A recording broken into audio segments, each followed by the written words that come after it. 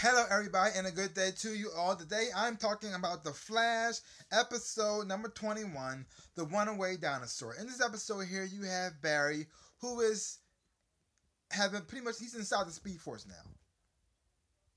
Because Dr. Wells tried to give him back his powers, and things didn't go according to plan, and when he got zapped with everything, it took him to the Speed Force.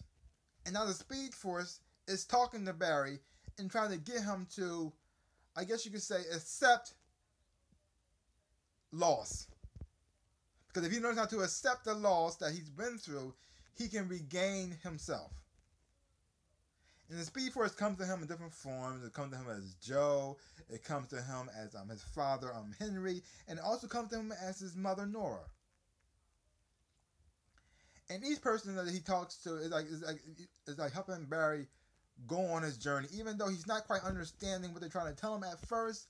But he learns how to he learns the, the message that actually, actually they actually are trying to tell him, and that helps him become the, the Flash again.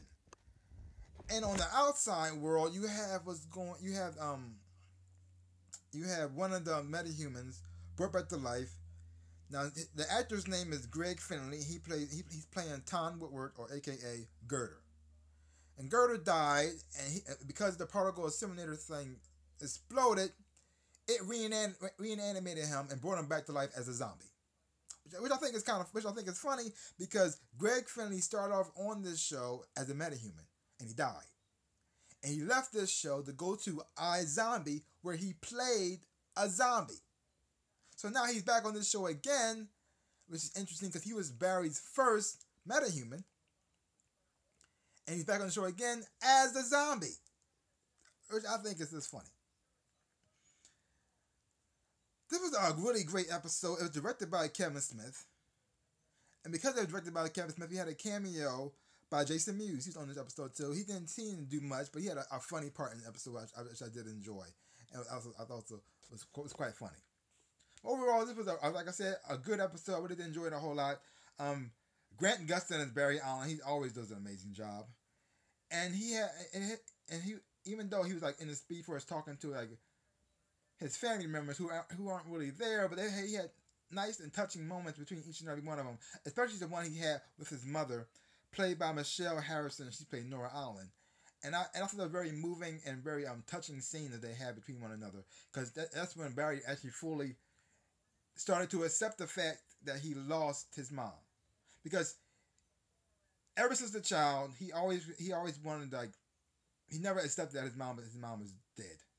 He never visited the grave because he always because if he, if he visited the grave, it would it would, it would make like permanent that his mom is gone. And even when he got his powers back and he realized he could go back in time, he thought he could bring his he could help stop his mom from dying.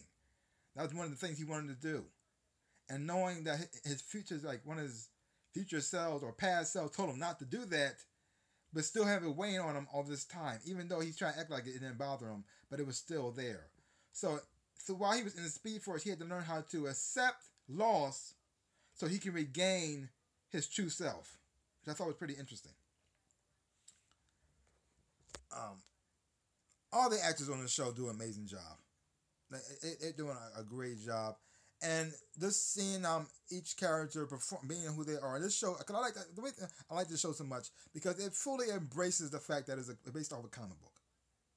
It is light at times. It can be silly at times. It can be really dark at times too. But it, it always makes you feel good when you watch it, and I really do enjoy that a whole lot. Not every superhero has to be dark and brooding. I mean, there are some scenes when he is dark and brooding at times, but he also brings a lightness to the show, and uh, also also the lightness to the show, and a joy that you can you can laugh at and be silly with it as well, which I do enjoy. It balances the, the, between dark and humor quite well, and I like that. Now this was a, not a lot happened in this episode here.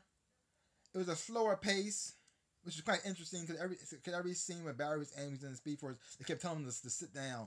I thought was quite funny and very interesting at the same time because this this this, this, this whole episode right here was a slower pace. It wasn't like Zoom was in it, but he didn't have a, a, a really major part. And even though the bad guy was just, a zombie, it wasn't really like much of a threat, threat, threat like Zoom is. It didn't take away from the on the storyline of, of Zoom. It didn't really add nothing to it, but it was a nice, a slower paced episode that you can enjoy in this watch. And you get to get to know what's in, what's going on in an emotional struggle that Barry's going through, which I did enjoy a lot.